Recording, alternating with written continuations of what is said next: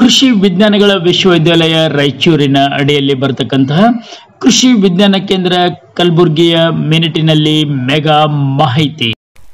ನಾವು ಈಗ ನೋಡ್ತೇವೆ, ಸಾಕಷ್ಟು ಒಂದು ತೊಗರಿ ಒಂದು ರಾಶಿ ಆಗಿರ್ತೈತಿ. ತೊಗರಿ ರಾಶಿ ಆದ್ಮೇಲೆ ಎಲ್ಲ ತೊಗರಿ ಕಟ್ಟಿಗೆಗಳು ಹಿಂಗೆಲ್ಲ ತಗೊಂಡು ತಗೊಂಡು ನಾವು ದಂಡೆಗೆ ಹಾಕೋತಿರ್ತೇವೆ.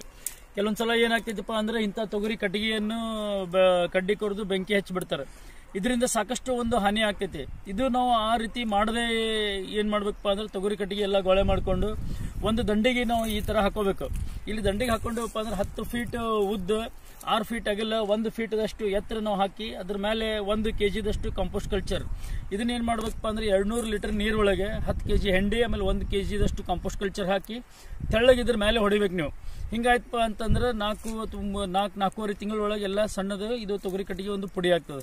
ಅಂದ್ರೆ ನಾನು ಹೇಳೋದು ಅರ್ಥ ಏನಪ್ಪ ಅಂತೇಳಿ ಅಂತಂದ್ರೆ ಈ ತೊಗರಿ ಕಟ್ಟಿಗೆದಿಂದ ನಾವು ಕಾಂಪೋಸ್ಟ್ ಗೊಬ್ಬರ ಮಾಡ್ಕೋಬಹುದು ಇಲ್ಲ ಇನ್ನೊಂದು ಸ್ವಲ್ಪ ನೀರಿನ ಫೆಸಿಲಿಟಿ ಹೆಚ್ಚಾಗಿತ್ತಪ್ಪ ಅಂದ್ರೆ ಎರೆಹುಳ ಗೊಬ್ಬರವನ್ನು ಕೂಡ ನಾವು ಮಾಡ್ಕೋಬಹುದು ಒಂದು ಎಕರೆ ತೊಗರಿ ಕಟ್ಟಿಗೆದಿಂದ ಕನಿಷ್ಠಪ್ಪ ಅಂತಂದ್ರೆ ಇಪ್ಪತ್ತು ಕ್ವಿಂಟಲ್ದಷ್ಟು ತೊಗರಿ ಕಟ್ಟಿಗೆ ಬರ್ತೈತಿದೆ ಒಂದು ಎಕರೆ ತೊಗರಿದಿಂದ. ಅಂದರೆ ಎರಡು ಟನ್ನದಷ್ಟು ಒಂದು ತೊಗರಿ ಕಟ್ಟಿಗೆ ಬರ್ತೈತಿ ಇದರಿಂದ ನಾವು ಏನಾದರೂ ಕಾಂಪೋಸ್ಟ್ ಅಥವಾ ಎರೆಹುಳು ಗೊಬ್ಬರ ತಯಾರು ಮಾಡಿದೇವಿ ಅಂತೇಳಂದ್ರೆ ಕನಿಷ್ಠ ಅಂದ್ರೆ ಒಂದು ಟನ್ ಕಾಂಪೋಸ್ಟ್ ಬರ್ತದೆ.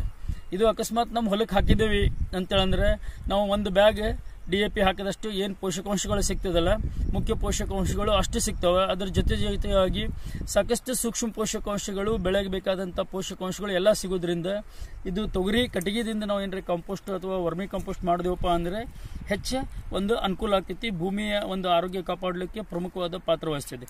ಅದೇ ಸುಟ್ಟೆವಪ್ಪ ಅಂತಂದ್ರೆ ನಾವು ಪೋಷಕಾಂಶಗಳು ಎಲ್ಲ ಹಾಳಾಗಿ ಯಾವುದೇ ರೀತಿಯಾಗಿ ಉಪಯೋಗ ಆಗಂಗಿಲ್ಲ ಅಂತ ಹೇಳ್ಬೋದು.